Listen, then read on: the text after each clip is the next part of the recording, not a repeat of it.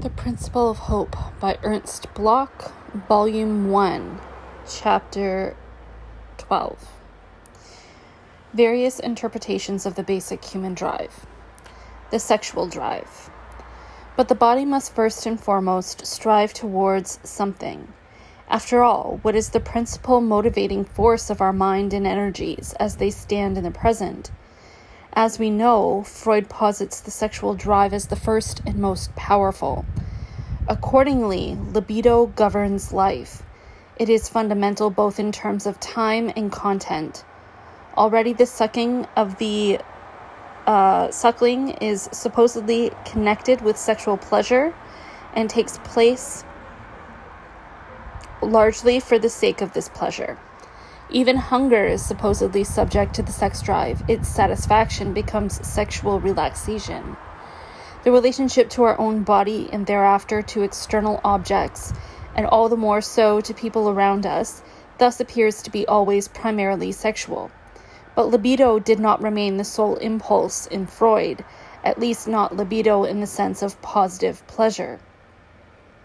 The later Freud stressed alongside it a tendency towards negative pleasure, namely the death drive. The animal will is then also assigned to the death in store for it, not only to mating. Just as multicellular creatures drive towards death from the outset, and mortal decomposition already sets in in youth, in vascular contraction, for example, there's also a separate drive towards the process of dying, of growing cold. It is the destructive and aggressive drive. Freud sought to identify it as a separate, though always libidinally colored drive in sadistic desires.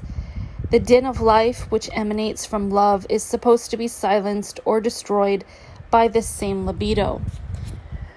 The wish for destruction expresses itself with respect to our own body in the pleasure taken in bare discipline in the various ascetic tendencies. With respect to other bodies and objects, the death drive expresses itself as cruelty, as the undeniable frenzy of destruction now raining down on others. That the death drive is also libidinal, however, is supposedly indicated by the universal connection between cruelty and sexual pleasure, above all, also by the emotion of Liebestod. In any case, the core is and remains sexual here. This is what motivates Freud's man. Ego drive and repression. Only later is this joined by another narrower power.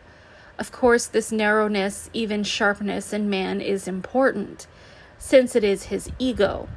Freud indicates time and again, not without retreating occasionally, that apart from the sex drive and the death drive related to it, he has distinguished a purely human drive. For if there were only libido and nothing else, then neither conflicts nor neuroses could arise in us. Next to the dark id of the body and its drives, however, stands the ego, according to Freud. The ego drives stand opposite the sexual powers. Indeed, the whole of psychoanalysis, says Freud, has been built up upon the sharp division of the sexual drives from the ego drives.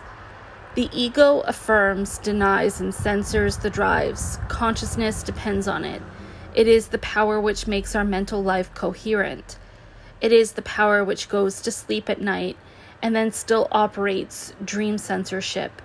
The ego drive represses what does not fall into line with it in the sexual drives in their contents, um, of of which more later. Thus, our mental life is dualistic. In spite of the libido, which began everything here, it moves between the coherent ego and the repressed material that is split off from it. Precisely this tension leads, if it leads to contradiction, to pathogenic conflict, one between the ego drives and the sexual drives. From the ego emanate the repressions through which certain mental tendencies are excluded, not only from consciousness, but also from the other kinds of validity and application. This material removed by repression confronts the ego in analysis, and the analysis is given the task of eliminating the resistances to dealing with the repressed material expressed by the ego. The ego sees to the removal of unpleasant feelings through the fulfillment of drives, but it sees to this fulfillment in its own way, in a censoring, moralizing way, and above all with respect to what can be achieved, to reality. This moralizing element, i.e., what is adapted to the practices of Freud's bourgeois environment, is, according to Freud, the acquired line of the ego drive. Thus, there even occurs a penetration of the libido, hence, of the pleasure principle, which otherwise determines all drive processes. The adult, or better, the bourgeois individual seen by Freud in a bourgeois way, wears down his Dionysian, Dion, Dion, Dionysian or Dionysian. I think it's Dionysian. I don't know. Dionysian. I'm having a lot of difficulty with this word. Dionysian. Dionysian horns on reality. As Freud calls his bourgeois environment, the commodity world and its ideology. The thus educated ego has become reasonable. It no longer allows itself to be controlled by the pleasure principle, but follows the reality principle, which basically also wants to achieve pleasure, but pleasure ensured by consideration of reality, even if this is postponed and diminished pleasure.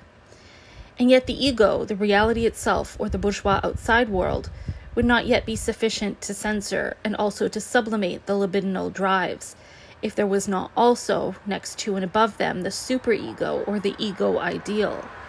The superego is the other content of the ego. According to Freud, it represents our relations to our parents. It creates all the surrogate formations of piety. The ego represents the rights of the outside world. The superego is, however, the advocate of the inner world, the origin of conscience and of guilt feelings understood as the tensions between the claims of conscience and the achievements of the ego. It is the seed from which all religions have developed. By representing father and mother, the super the superego observes, threatens, and controls the ego as the parents had previously observed, threatened, threatened and controlled the child. Thus, it gives the ego a guiding image and is the source of the formation of ideals. But precisely because of the, of the continuing effect of parental authority, a threatening element can easily exist in the superego. The conscience is strict, the sense of duty somber, and also the superego very often retains from its parental side the traditions and ideals of the past. Nevertheless, it skirts round the wakeful ego to get to the libido, to the common dark, to the id of the inner world united in the dark. All this is added to the original libido, at least in the later Freud. Thus, an extraordinary superstructure of drives exists. Admittedly, one which is supposed to be largely dismantled again through analysis, and which, as far as the contents of the superego are concerned, to which not only religion, but, for example, also the postulates of changing the world belong, supposedly consists exclusively of illusions with regard to the, the outside world. The inner world itself, however, which finds its advocate in the superego, in the final analysis always remains that of the libido or the repressed drives, of the unconscious id in man. The id of this libido is and remains, according to Freud, the unconscious realm of drives that fills the body and surrounds us, seen from its animal side as well as from that of the superego with the result that we are lived by unknown, uncontrollable forces, in other words, by the alien domination of the capitalist mode of production, which Freud has made into the libido id. Psychoanalysis, on the other hand, is a tool which should make the progressive conquest of the id by the ego possible. This merely has the effect of freeing the basic libidinal drive again. That is, it is neither diminished in acts of repression nor eclipsed in ties of the ego ideal. Freud does indeed want to bring the repressed and unconscious material in it rationally to light. That is, to reduce the hip- hypocritical and neurosis creating mustiness. But what should follow is solely daylight within the private libido and within the discontent of a civilization where apparently nothing more than a breath of psychoanalytic air is lacking. Repression, complex, unconscious material, and sublimation. Thus, the sexual drive, if not the be all and end all, still remains fundamental here. The decent girl simply refuses to admit it.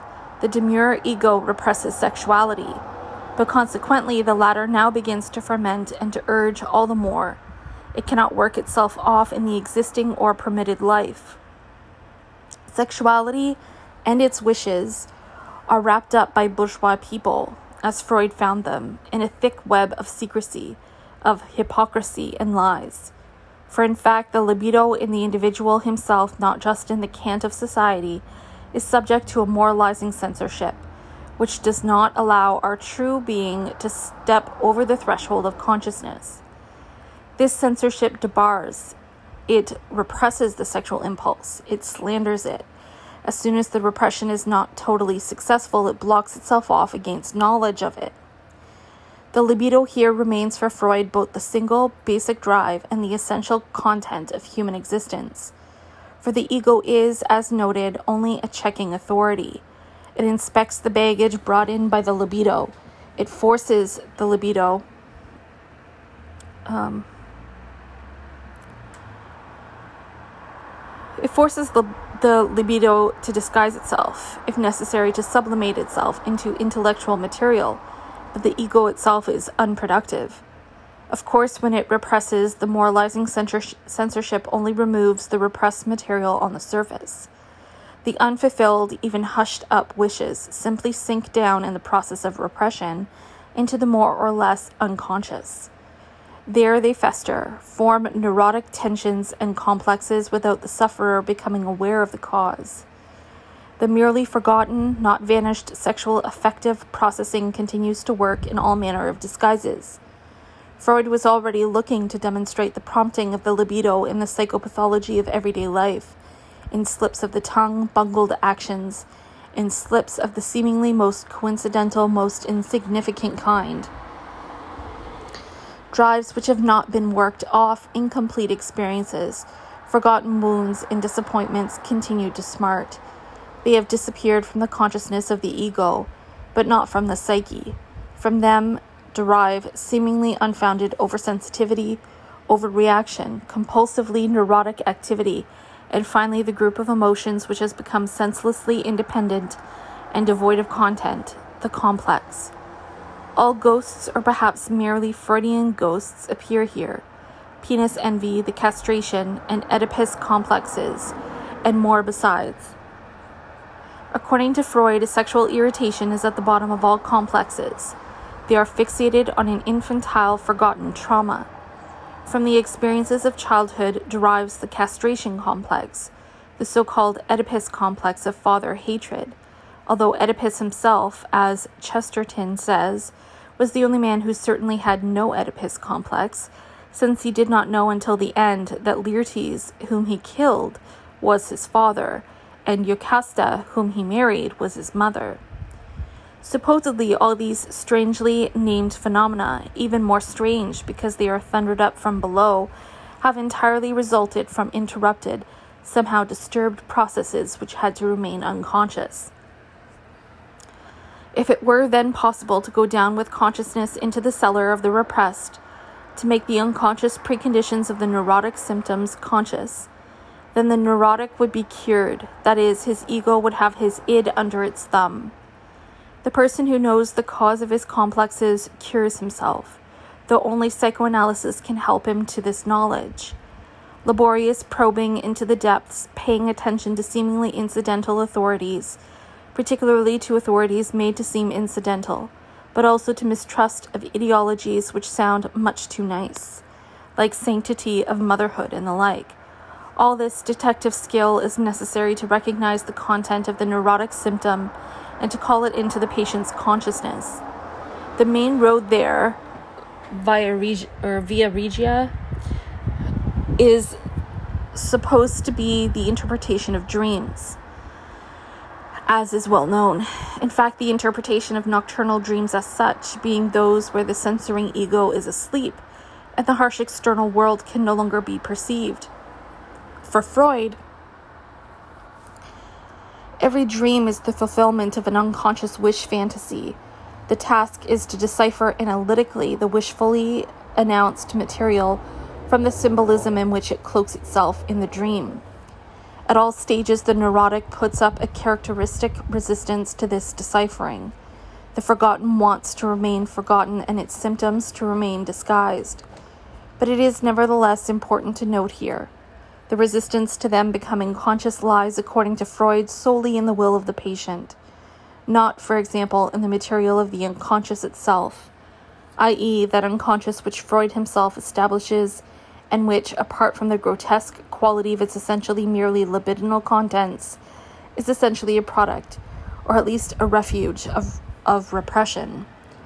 Repression itself is, in this sense, a process through which an act capable of consciousness, i.e., one which belongs to the system of preconsciousness, is made unconscious, i.e., pushed back into the system of unconsciousness. And likewise, we call it repression when the unconscious mental act is not permitted to enter the next preconscious system at all, but is turned away on the threshold by censorship. The libido, which has been made conscious, thus reveals no other door than that through which we re enter, the reeled up long ago. Long ago. Psychoanalysis seeks to be um, ab ovo, subcortical memory, solitary, encapsulated, and as it as it as it itself states, subterranean, acherontic. The unconscious in Freud is per, is therefore one into which something can only be pushed back, or which at best, as id, surrounds consciousness as if this were a closed ring, a phylogenetic inheritance all around conscious man. With the help of the superego, the ego draws, in a way that is still obscure to us, on the experiences of prehistory stored up in the id. The unconscious of psychoanalysis is, therefore, as we can see, never a not yet conscious, an element of progressions. It consists rather of regressions. Accordingly, even the process of making this unconscious conscious only clarifies what has been, i.e., there is nothing new in the Freudian unconscious. This became even clearer when C.G. Jung, the psychoanalytic fascist, reduced the, the libido and its unconscious contents entirely to the primeval. According to him, exclusively phylogenetic primeval memories or primeval fantasies exist in the unconscious, falsely designated archetypes, and all wishful images also go back into this night, only suggest it only suggests prehistory. Jung even considers the night to be so colorful that consciousness pales beside it. As a spurner of the light, he devalues consciousness. In contrast, Freud does, of course, uphold illuminating consciousness, but one which is itself surrounded by the ring of the id, by the fixed unconscious of a fixed libido. Even highly productive artistic creations do not lead out lead out of this fixum. They are simply sublimations of the self-enclosed libido. Imagination is a substitute for the fulfillment of drives. The problem to be solved then, says Freud, is to displace the drive goals in such a way that they cannot be affected by the failure of the external world. The sex drive can be refined into caritas, caritas, into devotion to the well being of one's neighbor, ultimately of humanity. More highly sublimated libido constitutes the pleasure the artist derives from his creation, but also the enjoyment and the vicarious satisfaction the non artist derives from a work of art. The latter does, after all, provide pure wish fulfillment of a shaped yet uninhibited kind. Women, women, wedding heroes, and even the beautiful, tragic corpse. It provides the man in the stalls with what he lacks in life, provides cloth of gold like a beautiful dream in the night does. The viewer or the spectator works off his wishes in this way so they so that they no longer cause him pain. But every catharsis of this kind remains temporary, in fact, illusory. Art, according to Freud, works exclusively with the illusions with which the unsatisfied libido allows itself to be fooled. How mechanistically far away Freud is here from Pavlov's realization that precisely the higher psychological processes work with the constant influence of the changes in the environment which they have grasped on the emotional and organic processes that they are in no way merely dependent nor inherently hollow modes of substitution. In Freud, however, there remain only sexual libido. Its conflict with the ego drives in the cellar of consciousness as a whole, from which the illusions then rise. Power drive, frenzy drive, collective unconscious.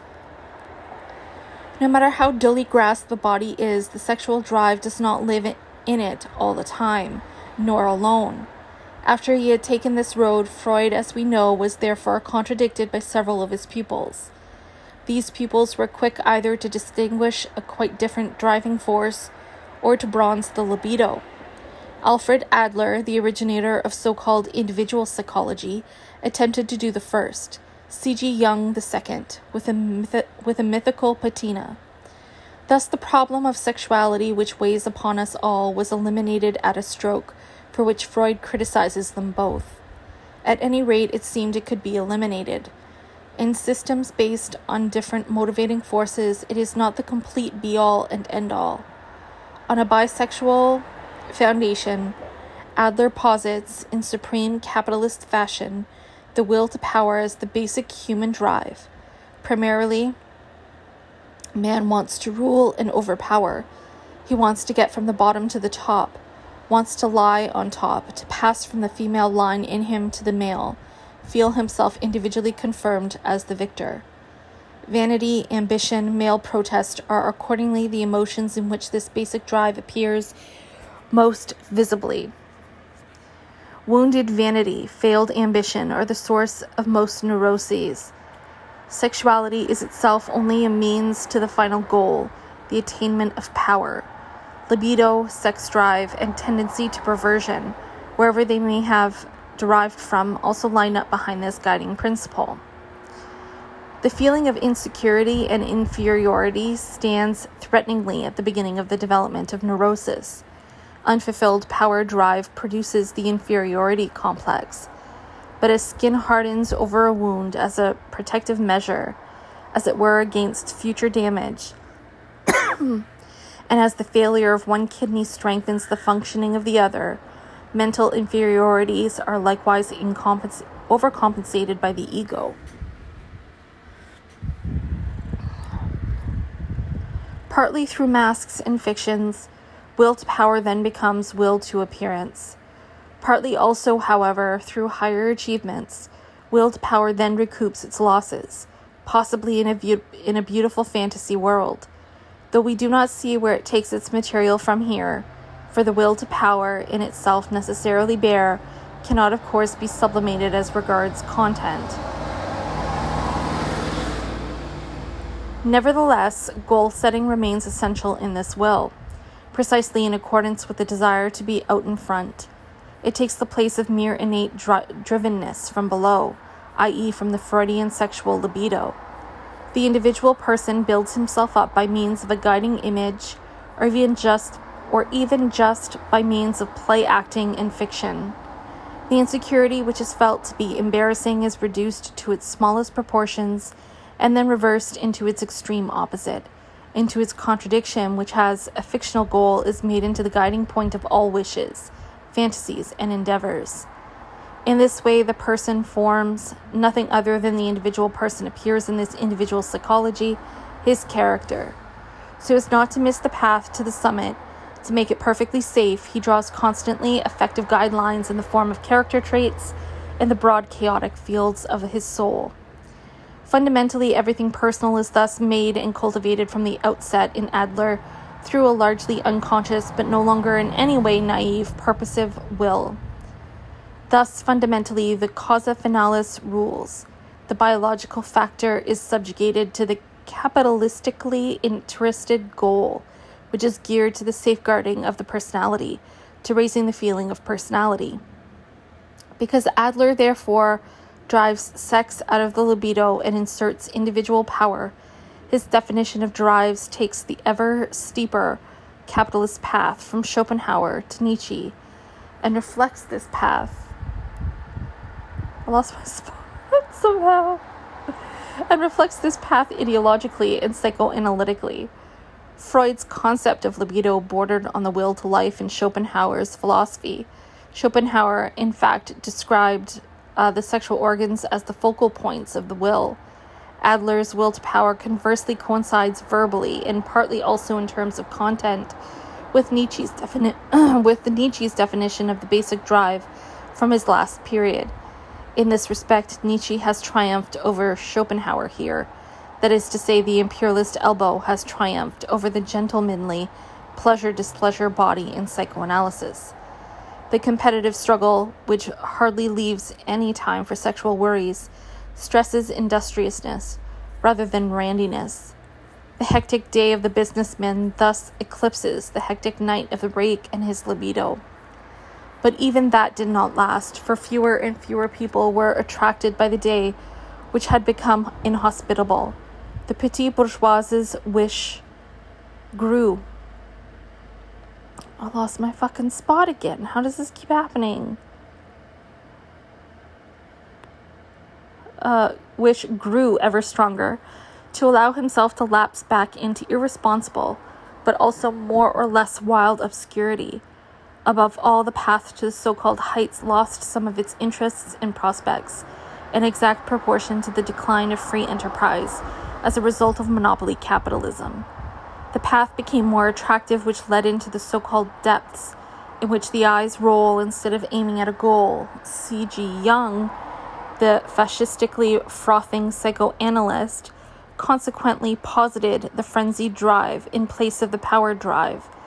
Just as sexuality is only part of this Dion- Dionysian general libido, so also is the will to power. In fact, the latter is completely transformed into battle frenzy, into a stupor which in no way strives towards individual goals. In Jung, libido thus becomes an archaically undivided primeval unity of all drives, or eros per se. Consequently, it extends from eating to the Last Supper, from coitus to unio mystica, from the frothing mouth of the shaman, even the berserker, to the rapture of Fra Angelico. Even here, therefore, Nietzsche triumphs over Schopenhauer, but he triumphs as the affirmation of a mescaline Dionysus over the negation of the will to life. As a result, the unconscious aspect of this mystified libido is also not contested, and there is no attempt to resolve it into current consciousness, as in Freud. Rather than neurosis, particularly that of modern, all too civilized and conscious man, derives, according to Jung, precisely from the fact that men have emerged too far out of what is unconsciously growing, outside the world of elemental feel thinking. Here, Jung borders not only on the fascist version of Dionysus, but also partly on the vitalistic philosophy of Bergson. Bergson had already, though still in a close, closed order in rigid geometry, though still, sorry, Bergson had already, though still in a successionist liberal way, played off intuition against reason creative unrest against closed order in rigid geometry. But far more so than with Bergson's Elan Vital, the fascist Jung borders on the romantic reactionary distortions which Bergson's vitalism underwent, as in sentimental penis poets like D.H. Lawrence, incomplete Tarzan philosophers like Ludwig Klages. Bergson's Elan Vital still was still directed forwards it corresponded to the Art Nouveau of secessionism of the 90s. It contained watchwords of freedom, none of regressive enslavement. D.H. Lawrence, on the other hand, and Jung along with him, sings the wilderness of the elemental age of love, which to his misfortune man has emerged from. He seeks the nocturnal moon in the flesh, the unconscious sun in the blood. And Klages blows in a more abstract way on the same bullhorn.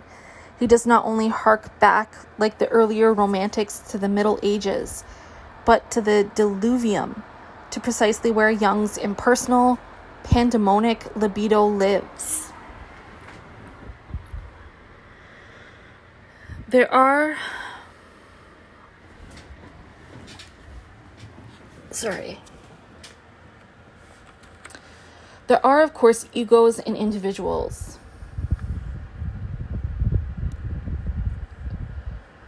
Jung teaches, but they do not go deep in the soul the personality itself is only a mask or a socially played role. What works in the personality and as such is instead supposed to be vital pressure from much deeper, much older layers, from the magical collective layers of the race, for example. The individual person is collective on this ground and leads back to it again. Since the individual is not only a single being but also assumes collective relationships to his existence, the process of individuation therefore also leads not into isolation, but into a more intensive and more general collective context. Uh, that was a quote from Jung. Contest and free competition, which in Adler still spurred people on to outstrip each other and to keener and keener individual psychology, are submerged here into the folk community and into psychosynthesis. This means, in fact, into archaic collective regression. Impersonally, in fact, inhumanly, unconscious material opens up, a long way behind every individual experience, if not behind the archaic traces of the mere memory of humanity. Accordingly, primal memories are supposed to be active from the time of our animal forefathers i.e., a long way behind the diluvium or diluvium. Jung appropriates the concept of the engram for this, which Semon introduced into biology. The concept of a memory of the whole of organic matter and its memory traces. They are incorporated in libido as a primal animal plan, but they also keep the unconscious per se in the archaic, primal dimension of what has been. Thus, psychosynthesis does not disperse into day and into external pieces, but reflects and takes the neurotically or otherwise given symbol back into its ancestral night, just as analysis, the causal reductive process, divides the symbol into its components. The synthetic process condenses the symbol into a general, incomprehensible expression. Freud's unconscious, despite phylogenetic archaic elements which he no doubt believed he saw, and which in his school have been excavated down to the primal memories of the first land animals. Freud's unconscious was therefore largely individual, that is, filled with individually acquired repressions and with repressions from the recent past of a modern individual. Jung's unconscious, on the other hand, is entirely general, primeval, and collective. It purports to be the 500,000 year old shaft beneath the few thousand years of civilization, particularly beneath the few years of individual life. In this basic ground, there is not only nothing new, but what it contains is decidedly primeval. Everything new is ipso facto without value, in fact, hostile to value, according to Jung and Klages. The only thing that is new today is the destruction of instinct the undermining of the ancient basic ground of the imagination by the intellect. Even neurotic conflict is the suffering caused by intellect to this basic ground of the drives and of the imagination. Or, as Lawrence said, men have lost the moon in their flesh, the sun in their blood. Thus, the neurotic must not be completely removed from the unconscious material which he still has. Rather, what it necess- what is necessary is guidance back to the collective unconscious to the age old forces of life. Psychosynthesis, fleeing the present, hating the future, searching for primeval time, thus becomes the same as religion in the etymological sense of the word, namely religio, connecting back. And in fact, there appears to be no difference between the frothing mouth of the shaman and Meister Eckhart in true night tolerance. Indeed, the shaman is better. Then the most rampant superstition ranks more than ever above enlightenment, since, of course, Jung's collective unconscious flows thicker in witch crazes than in pure reason. Eros in the archetypes. It comes to this, among other things, when the conscious ego is taken away from the body, when the libido is driven completely into the dark, into the unconscious as a goal. In In Freud, the sick person was only reminded of the unconscious so that he could free himself from it. In C.G. Jung, however, he is reminded of it so that he plunges headlong into the unconscious, into layers lying deeper and deeper, lying deeper and deeper in the past. Libido becomes archaic. Blood and soil, Neanderthal man, and tertiary period leap out simultaneously to confront us.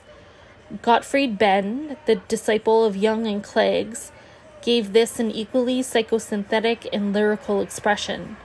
We carry the early peoples in our souls, and when the late ratio loses its hold in dream and intoxication, they rise up with their rites, their pre logical way of thinking, and dispense an hour of mystical participation. When the logical superstructure dissolves and the cortex, tired of the onslaught of the pre lunar stock, opens the eternally contested border of consciousness, it is then that the old, the unconscious, appears in the magic ego transformation and identification and the earlier experience of being everywhere and eternal. Jung drove the libido harder and harder towards these archaic connections. At the same time, he grasped these beginnings so nebulously and generally that the whole erratio of those times, quite regardless of what it says, can be accommodated interchangeably. This really is the night in which all cows are gray, the night of that immeasurably extended libido, collectivized in the idea of the bosom of nature, which is now also called world soul. Eros, Plato, Indian theo- theosoph- theosophy, alchemical and astro- astrological imagery, Platonists, or what C.G. Jung imagines by this, swirl around each other, all united in the pre lunar libido as far as the psychological aspect of this concept is concerned, I remind the reader here of the cosmogon- cosmogonic significance of Eros in Plato, Plato and in Hesiod, as well as the Orphic figure of Phanes, the revealer, the first to come into being, being the father of Eros. The Orphic significance of Phanes matches that of the Indian Kama the love god, who is also a cosmogonic uh, principle. Jung adds across huge gulfs as if, because it sounds so cosmic, it were the same thing. And the Neo Platonist Plotinus, the world's soul is the energy of the intellect. In this way, the libido in Jung opens up like a sack of undigested atavistic secrets, or rather, abracadabras, in fact, this sack, in Jung's own words, drags an invisible dinosaur tail behind it. Carefully separated, it becomes the savior serpent of the mystery. For accordingly, Diluvium remains the closest thing to Eros, who began everything, and Eros strives to get back to it, along pre logical lines away from consciousness. The anatomical location of this libido is the ancient sympathetic nerve not the cerebrospinal system. Its organon, already itself semi insufficient, all too enlightened, remains mythology. The mother bond, for example, is according to Jung not to the individual mother, but to an ancient general mother image. It is the bond with Gaia or Cybele, um, with that archaic beingness, binness, which is also supposed to be behind Astarte, Isis, and Mary. The occupation of libido thus subsequently becomes prototyp- prototypal per se, per se here. The archetypes of the Earth Mother shine and triumph through every individual mother. Archetype in general, Lévy-Bruhl's representation collective, is the cue with which Jung's libido brings on its collective unconscious. Thereafter, the unconscious, and only this, is universally populated by archetypes. Snake, Kitchen, fire, pot on the fire, deep waters, Mother Earth, the old wise man are a few examples of it. This prototypical material is supposed to be highly infl- inflammable, especially for a man of today, that is, one who is a mixture of myths. He who speaks in archetypes speaks with a thousand tongues. And this, according to Jung, simply because the creature of intellect is mediated with the drive image life of the primeval man animal with the enormous resonance of blood and soil. Collective unconscious is, however, not only the location of this kind of health, according to Jung, it also contains all the basic forms of human imagination, all better or more beautiful worlds that have ever been dreamt of our racial souls, archetypal time. Thus, the mandate to strive from the light into the darkness was followed here in such stupefying fashion. It is only possible to run capitalist business if the consciousness of its victims is stupefied in their free time. Consequently, Jung generalized and ar- archaized Freud's unconscious right down the line. It is not supposed to be resolved rationally. No sublimation takes place here either, which, according to Freud, does at least lead to culture. Freud's pupil, Jung, dissociated himself also on this point from Jewish psychology when the stars were propitious. The sacred, dark, primeval night, complete with bloody visions and a veritable orgy of images, replaces sublimation. This force is already in good order. It is, in fact, the only thing that lives in good order. Jung did stumble upon a not unimportant, as we shall see, imaginative stock here, upon that of archetypes. But just as he took his concept of them from uh, Romanticism, he also failed to extricate it from unstructured romantic dilettantism. Prototyping is only suitable for so called psychosynthesis, lock, stock, and barrel, and magical wishy washiness, commanded by monopoly capitalism, is useful for its purposes. The rapport of this panic libido with German fascism is obvious. The consciousness of the C.G. Jung somnambulist somnambulist is in no way suspended here.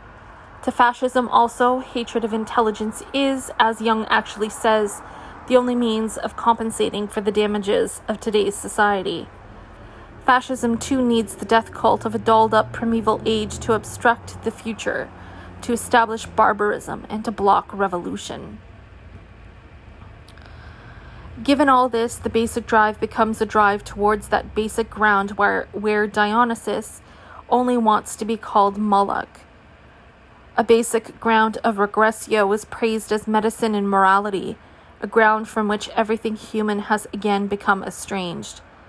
Thus, Freud, as we said, who did at least want to bring liberal enlightenment, and the fascistic mystifier Jung, present extensive contradictions in their common depth psychology, as it modestly calls itself. The liberal wants to make repressed material conscious. The reactionary wants to connect conscious material back with the repressed, to push it back ever deeper into the unconscious. In Freud, the unconscious is combated and, as far as it is individually acquired, kept in the orbit of the individual.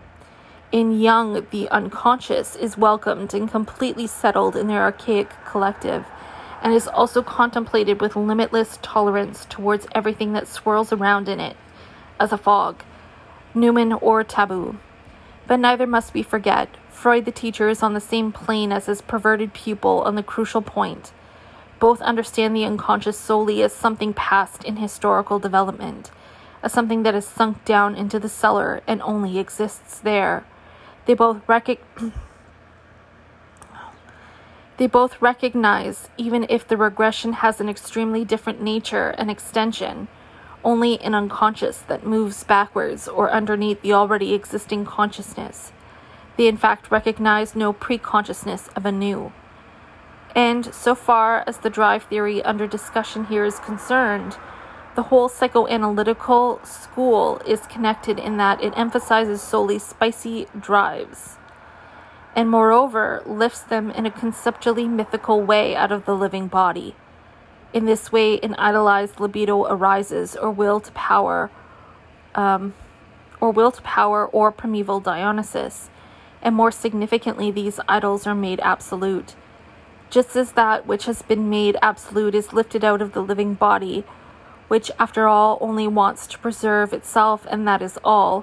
So, too, in Freud and Adler, and especially in Jung, it is never discussed as a variable of socioeconomic conditions.